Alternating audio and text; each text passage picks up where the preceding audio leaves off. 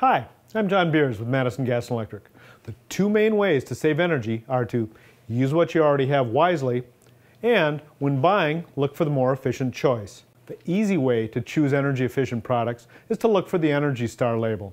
Most people are aware of Energy Star light bulbs, but did you know to look for the Energy Star label when you're buying clothes washers and kitchen appliances? Plus, home electronics such as TVs and DVD players. Among the other products that can earn the Energy Star label are computers and related equipment, furnaces, water heaters and air conditioners, plus windows, skylights, and doors. If you're trying to choose between two Energy Star products, you can find out which one uses less energy. Many times, there will be a yellow Energy Guide label on the product to help you compare. It's like the mileage label on a car. If there's no Energy Guide label, you can compare energy use by calling Madison Gas and Electric's Home Energy Line. Before you buy, check for possible cashback rewards from Focus on Energy.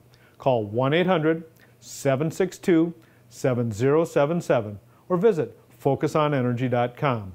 Some Energy Star products may qualify for federal tax credits as well. For more information, visit EnergyStar.gov or call the Home Energy Line at 252 7117.